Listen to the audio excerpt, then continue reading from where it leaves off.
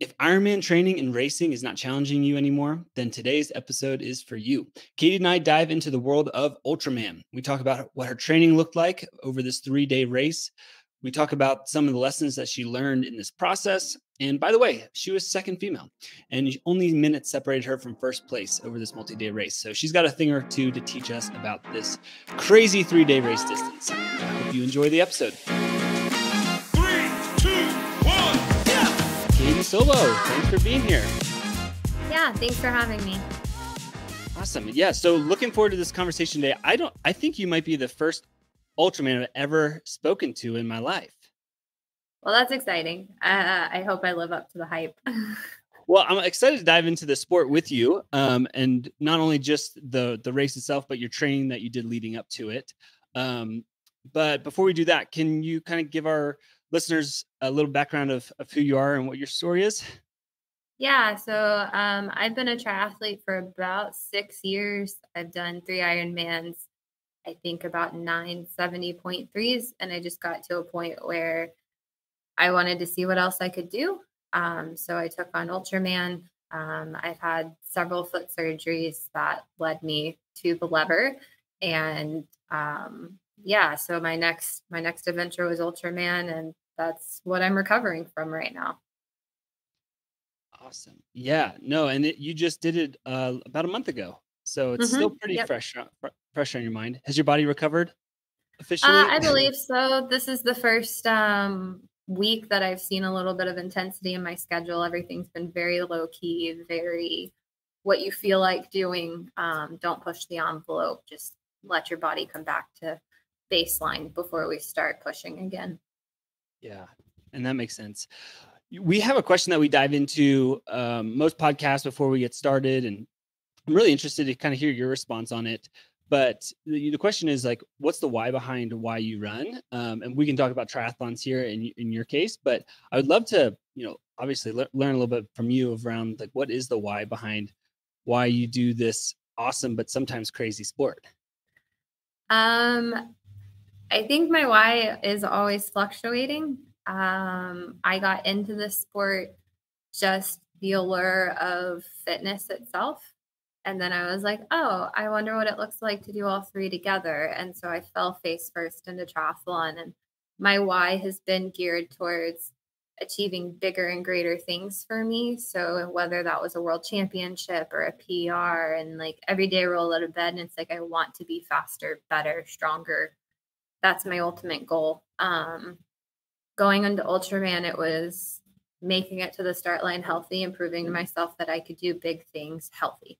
Um, and I did that and I succeeded. Um, but my why changed throughout the, uh, the training of this race. Um,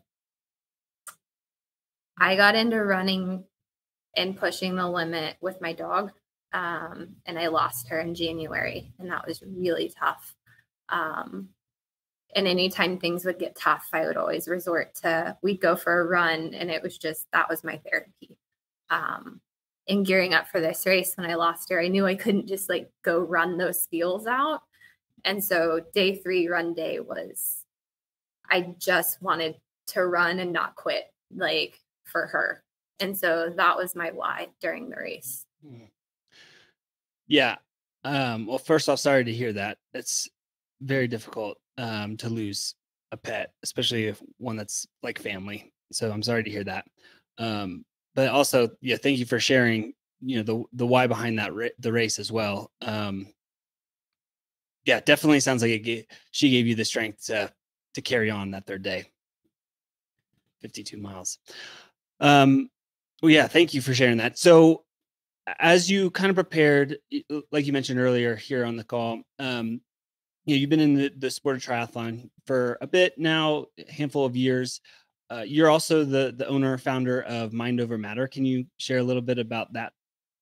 Yeah. So my husband and I, we both own Mind Over Matter. Um, we actually bought it from a friend of ours. My husband helped found it with our friend, um, but we took over full responsibility in 2020. Um, we have a decent sized uh, endurance team of athletes. Um, there's about 225 of us all over the US and Canada. Um, and then we also have apparel, and it keeps us pretty busy. Hmm, I bet. yeah. So you run a company, um, training for a crazy race like Ultraman. Um, but you know, before we get into Ultraman, so we first met, um, I guess a handful of months ago, uh, six months or so ago, um, and we were kind of you were coming off of you were coming off of Ironman Texas, uh, where you were building up into Ironman Texas after, I believe it was a surgery. Second foot surgery, yes. Your second foot surgery. Um, and then, you know, you went through Ironman Texas, you did Kona, and then you were getting ready for, you were getting ready for Ultraman here in February. Um, can you kind of walk us through your last year? I mean, that's two big Iron, two big Ironmans, one Ultraman. Yeah, I guess walk us through this last year and and what that's looked like. Yeah, so going into Ironman Texas 2023, I was recovering from a second foot surgery from a tendon repair and a screw removal. Um, and I used the lever for nearly all of my training and had an extremely successful Ironman Texas, um, where I ran my fastest marathon to date um, and qualified for Kona. So from there, I expected to build into Kona gain all this fitness. And then I was like, cool. Once I have that fitness, we're just going to double it. And I'll go into Ultraman like crazy prepared. And that is not what happened at all.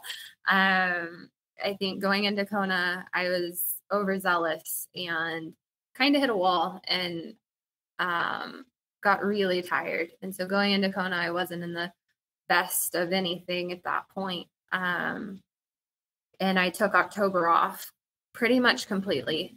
Um, but going into Kona, I was putting in high volume weeks. I was putting in 23 plus hour weeks um, of swim, bike, run training. And so I knew I had fitness. I just was too tired to access it. Um, and so I took all of October off and started in November and a, with a different coach and a different um, strategy of what I look back now as being an incredibly smart strategy. At the time, we butted heads and it was a really tough, like, no, you're still not going easy enough to recover. You're still not getting to that point um, of being healthy again. And so um, I went from my most run volume over the summer being 105 miles in a month to the most I did to go into Ultraman was 89 miles. Um, and I went and ran 52 miles on race day. Um, the training looked drastically different. It was all zone one. It was a lower zone one than what I had seen before. Um, and it was basically an extended taper to allow me to access the fitness and have a smoother race um, and to build on kind of what I had. The idea of gaining more fitness or doubling what I had from Kona was just kind of an illogical thought. And I learned that very quickly. Um, yeah. But yeah, it was it was an interesting year and it was a lot of bucket list items that just happened to fall all together and it was an incredible ride yeah, no, absolutely. Definitely incredible ride. And, and looking back, I think it's been, it's really cool to actually, and you sent me some of your uh, data too, which is awesome. But like to see the results backed up by the data. And, you know, I feel like we kind of kicked off the conversation when we first met because you asked me a question around like, do, I think it was something like, do people typically train like a high percentage of their volume on lever? And you know I, we've seen that before um, certainly but uh, we've always thought like the the right mix was you know 10 20% of your weekly volume on lever like the rest of it outside um, but for you that wasn't really an option at the time leading up to ironman texas because you were coming back from this foot surgery and if i rem- remember correctly i think you said you did like 95% of your volume on lever like leading up into Correct. ironman texas yes. I did. I only had like two runs outside and they were split between the lever. Like my long run was split between half on the lever and half outside um, prior to Ironman Texas. Yeah, and then and you said like your body felt good. You obviously had a great race, qualified for Kona, and then because you were, you know, quote unquote healthy, a, a lot of that transitioned to outdoor run mileage throughout the summer and then leading up into Kona.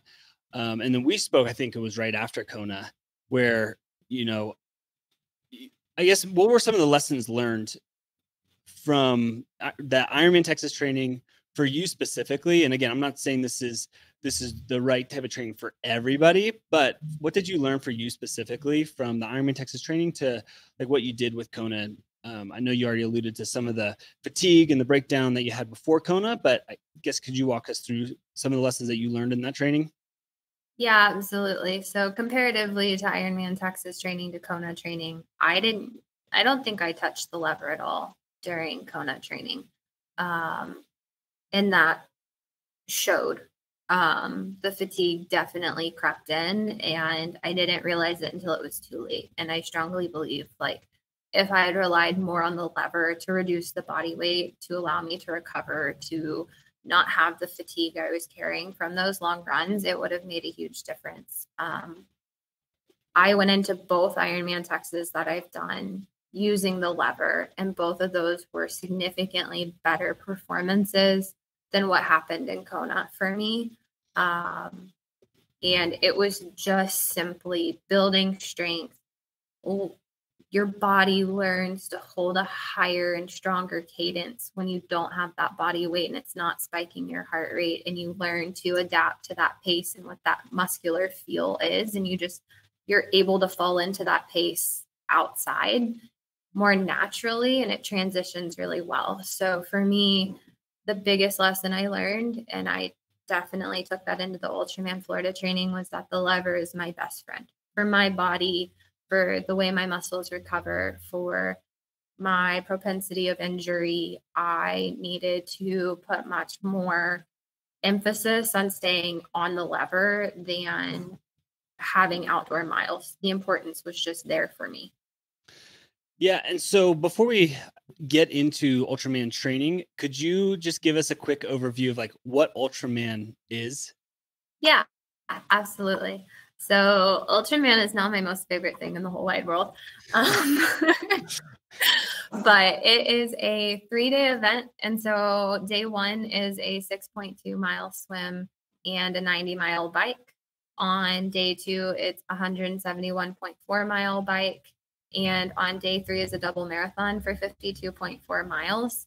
Um, and so the way the Ultraman works is you have a crew of two to four people and that crew is your lifeline. They are your fuel. They are, if something goes wrong, they are also your pacers on day three. They're there to spray sunscreen all over you and get you through transition to catch you when you try to get out of the water and you can't stand up. Like they're absolutely your everything. And so you have 12 hours each day to complete each day and if you don't meet the cutoff then you don't finish. But part of what makes ultraman unique is that they hope and invite you back for the next day. Like you may not have finished and you may not have an official time but the camaraderie in the ohana is that you come back and you keep going. It just won't be an official time. Mm. wow. Yeah and you know for for most people and honestly, rightfully so. And Ironman is a huge an accomplishment. Um, Ultraman is definitely taking it to the next level, having that over three days. And it does seem like the team atmosphere, the crew atmosphere is like a really special moment, especially once you get to that third day, because it that your crew means almost everything. Yes. Absolutely. Uh the third I don't I don't think my crew or myself expected me to be moving so fast through any of the disciplines. So I kind of put them through their paces um, and trying to chase me down on the bike course and make sure they could get me my nutrition on time because they're your moving aid station. Um, and then on run day, I think my husband ended up running almost 24 miles, broken out throughout the day. And he was just a pack mule. He's carrying my bottles, he's carrying ice, he's carrying my nutrition. Like the overall goal and layout of the race is that you show up every morning and your job is to be the athlete. That's it. Mm-hmm. You don't have to worry about the other things. They're helping you through that Um, and so I, it was a very incredible experience. It's it really does sound like it. I definitely have a couple questions. Uh, 1st mm-hmm. first one is so 6.2 miles is a long swim. Yes. Is that and this is someone that hasn't seen it an actual ultraman is that on a looped course or are you out in open water for 6.2 months? so um, it depends on which one you do there's four ultraman branded races arizona florida canada and the world championship is in hawaii so my the one i did was in florida and it was a three loop in the shape of a triangle um, in a giant lake. Um, and so, but you don't get out of the water, you just keep going. Um, and so you have a kayaker with you, and your kayaker has your nutrition, um, and it's their job to get you from each buoy. It's their job to do the sighting for you. The idea behind it is you're sighting off your kayaker, you're not sighting ahead of you. Um, so you want someone who can make a straight line. yeah, yeah, absolutely. You don't want to have to. You don't want to be swimming tangents by any means when you already have to go six point two miles. That, that could add a lot. Um, and and being a runner myself, that swim course does scare me significantly. So, um, no, it's very impressive though. And and you were in the water for what was it about? Three, three? 25, I think. Okay, three hours and I was the first female out of the water, which absolutely shocked me. Um, my swim is where I have felt like I have always needed to make the most progress and work the hardest at. So hmm. I came out of the water and I'm in transition asking my crew, like, how far back am I? Who's ahead of me? And they're like, what are you talking about? And I'm like, well, that was slower than we expected. So how far back am I? And they're hmm. like, no, you're first. And I just like, that still boggles my mind. yeah. I mean, just shows a testament to all the hard work really paying off, which is which is really cool. Um, and also just to maybe get the cat out of the bag, you got second place in your first Ultraman, and what surprised me the most about it was you were within four minutes of the first place female. Yeah, um, I really thought day three was gonna be a blow me out of the water situation. Um, I don't know for sure, but I think it might be the closest female finish they've ever had. Um, for the 20- person that I got second to has um, world records in ultra running. So to only lose a handful of minutes to her over the run was like over the moon excitement for me.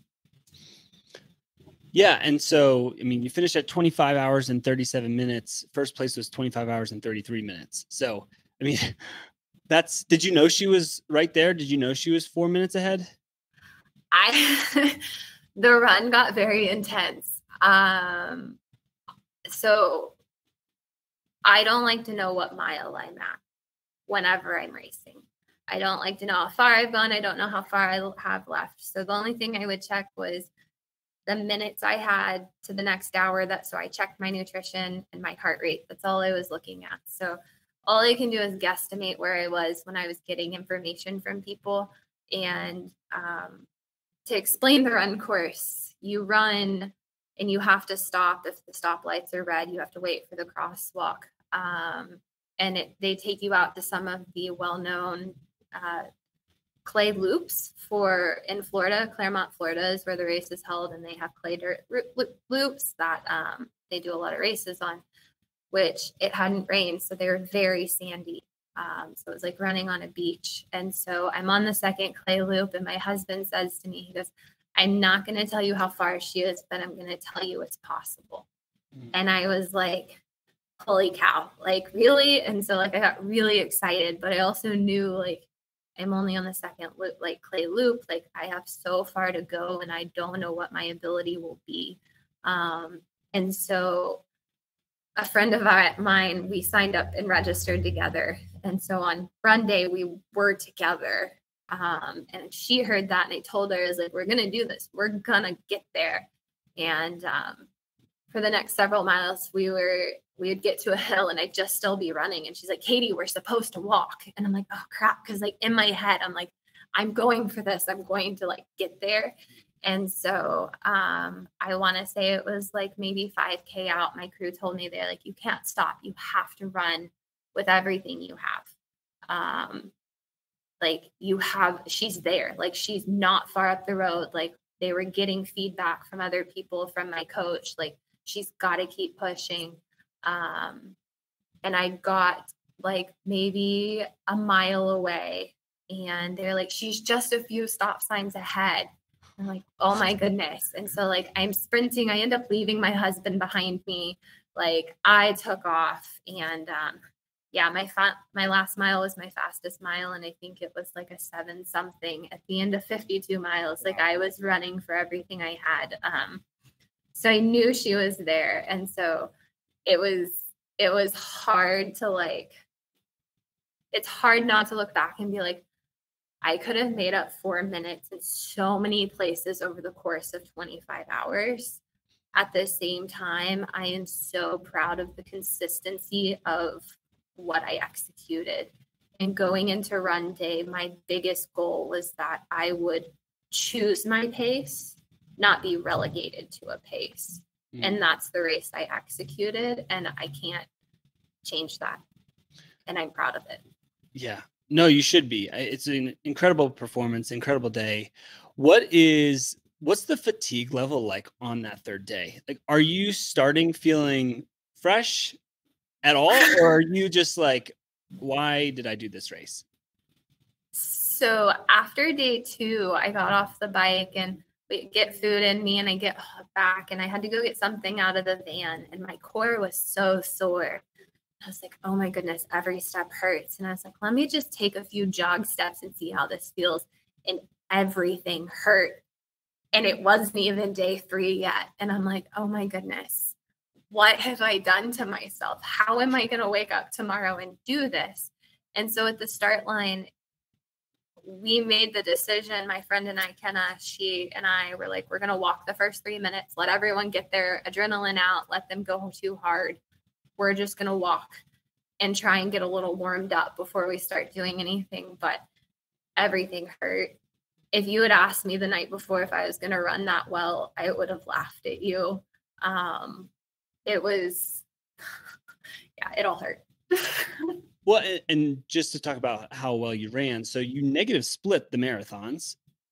Yes. So I don't have a I don't have the numbers right in front of me right now, but I think you said something like 427 and then 415 is that right is that close 417 i think yeah um i did and that was another big goal was not to go out too hard and like i mentioned you have to stop at all the stoplights and um, if they're red and i made a very critical error and i think my crew and i also didn't understand the rule that if the street light was green but the crosswalk was red i could still run and we were under the impression that the crosswalk had to be green as well. And so there was a lot of times that I was standing and pacing and circling, waiting for it to turn green. And so I caught almost every red light on the way back. So I didn't think I would negative split. I had no idea. So I wish I knew the real numbers without all those stops. But yeah, I definitely impressed myself. Absolutely. So again, so 425, 427, first marathon, second marathon, 417. Um, and I'd love to get into the training then because your Kona split was a, the, a 421 for the Ironman portion of, uh, sorry, for the marathon portion of Ironman Kona. Um, which I think anybody looking at that would be like, how is that even possible? Right? Like, how, how do you run a 421? Um, but anyway, I'd love to just dive into the training of like how you built yourself to be so resilient from Kona to Ultraman. So I have to credit all of that to my coach. Um, I don't want to say I didn't trust the process because I saw my friend start training with him in July and knew what he was doing, but it's hard not to. I kept telling him, I want to be the exception. I want to be the person who gets to do more. Um, but it was definitely reining it in going into co- uh, training with him. And um, so, just for numbers, um, in November, I only ran 41 miles. Um, that probably is the lowest number of miles I've put in since I had surgery. Um, but I walked 22 hours. Um, and then in December, I ran 64 miles. All of these miles were on the lever. Um, so when I talk about those, I'll differentiate, but that was all in the lever. But then in December, I walked 34 and a half hours, and my longest walk was six and a half hours.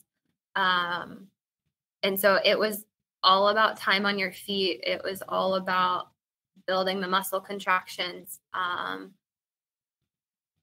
no matter how that looked, whether it was walking or whether it was with running, um, if I couldn't be on my feet for that long, how was I going to run that long? Um, and so then in January, I finally got to run outside. um, I had 89 total miles, uh, 41 of those being outside, but the majority of everything I did was on the lever. And I walked a total of 27 hours in January. Um, and walking is zone one. Walking is aerobic based. Walking is relatively easy.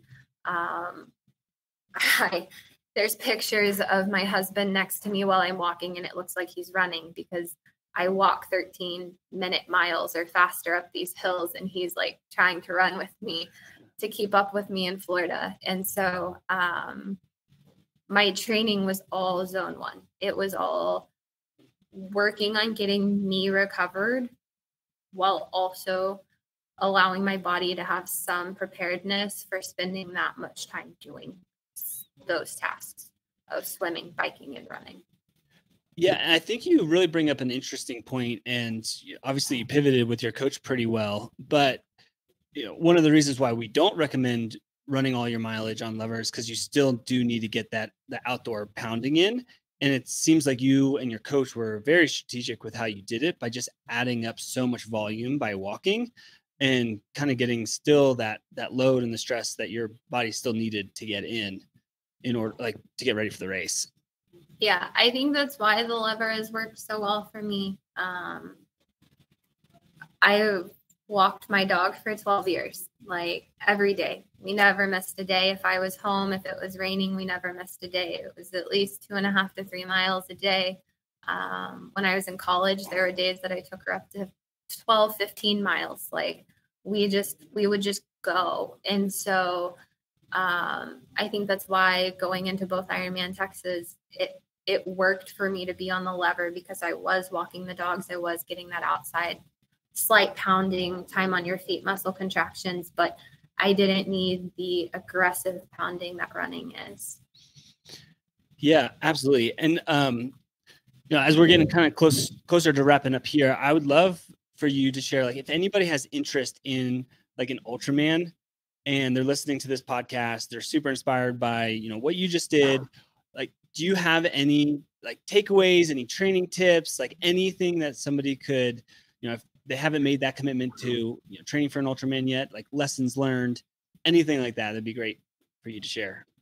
Yeah. So I think as far as training goes, and I think this goes for any um, distance that you're training, if you think you're taking your easy days easy, you're not taking them easy enough. Um, and so much can be gained from taking it that much easier.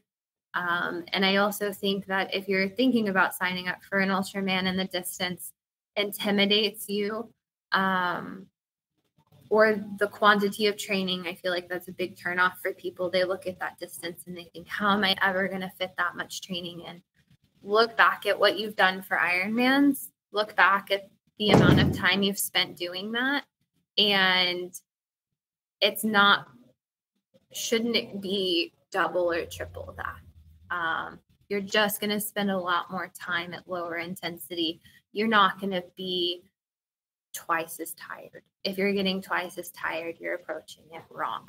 Um, and I think that's the best thing you can do and finding ways to hack the system where you do use the lever so you're not too tired and you do use walking as a way to you uh, achieve um, time on your feet. I don't think Ultraman is unattainable for anyone if you are dedicated and you have a couple years of just consistent training under your belt. Because when it comes down to it, and I look back, I relied so heavily on years of consistent training to allow me to get to the finish line. And that's what it takes. Yeah, and I think those are extremely good points to take away. And uh, one of the big things that we're really our goal for this podcast is around is like building sustainable athletes and you know athletes that can you know, weather the storms that come in life and really set themselves up to be a healthy, fit, and competitive athlete for their entire life, and not just for a brief season. And so I think a lot of what you just mentioned there around your lessons learned and what you'd recommend other people doing is absolutely spot on and um, love to hear it. So, uh, so real quick before we end, like what's next for you and uh, what's the best way for people to, to follow along with what you're doing? Um, I'm hopefully taking on a 72 hour run race in New Jersey in October. Um, it's a one mile loop, so it's going to be interesting. Um, I think that's a form of torture in itself, but um, we will see how that goes. Uh, the best way to follow me is Instagram. Um, it's try underscore cat, T R I underscore K A T 23. Um, and yeah, I hope that people get as much from this as they can. And I hope that it does inspire people to do Ultraman because the community that you gain and the family that you gain from those that have already competed and come out and volunteer their time and our crew and our staff is something you don't get from any other race that I've experienced. Yeah, no, it sounds really special. Uh, I hope the people that are are interested in it after listening to this uh, do check it out and give it a shot. So, but yeah, Katie, thank you for your time. Absolutely. Thank you.